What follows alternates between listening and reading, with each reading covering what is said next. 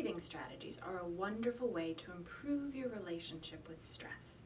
One of my favorite is called square breathing. In square breathing, we divide the breath into four components the inhalation, a holding of the inhalation, the exhalation, and a holding of the space after the exhalation. Let's try it now. Come into a comfortable seated position, feet gently pressed into the floor. Roll your shoulders down and back to open up the chest. Palms are open in your lap. Close your eyes. Take your focus within. We're going to breathe in and out through the nose using a count of four. So we'll inhale for one, two, three, four. We'll hold the inhalation for one, two, three, four. Exhale, one, two, three, four, and hold the space for one, two, three, four. Again, inhale, one, two, three, four. Hold for one, two, three, four. Exhale, one, two, three, four.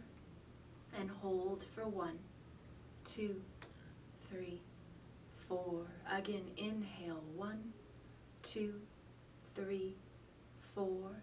Hold for one, two, three, four. Exhale, one, two, three, four, and hold for one, two, three, four. One more. Inhale, one, two, three, four.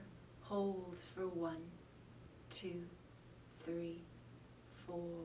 Exhale, one, two, three, four, and hold for one, two, three, four.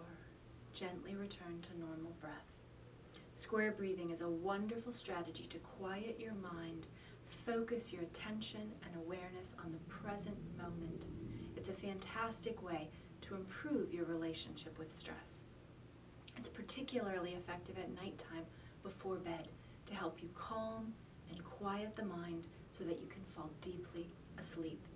As you get comfortable with the breath, you can ex- increase the count to five, six, seven, and eventually eight. Use square breathing anytime you need a moment of calm. Have a peaceful, calm, wonderful